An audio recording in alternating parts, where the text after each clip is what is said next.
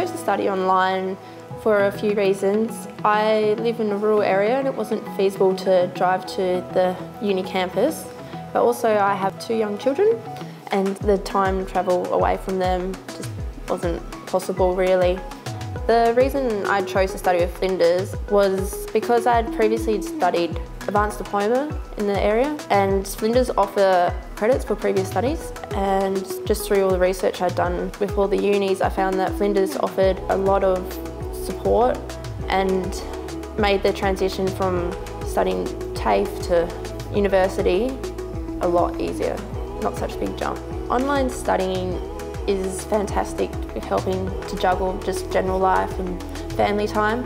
Um, the flexibility, I can spend all day playing with the children, having tea parties, riding bikes. With online studying, the tutorial classes, they're offered in the evenings at a variety of times. So it means I can have dinner, bath time, bed with the children, and then I've got my class and it gives me a chance to still focus in on my studies but have quality time with my children.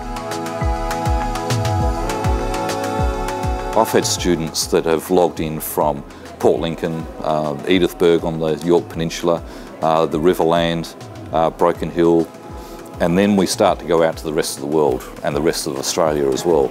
Um, but the, the real advantage is that they know they don't have to travel to Adelaide to do the course. They don't have to find their accommodation because these are mature age students. They've got families, um, they've got their work in that regional centre.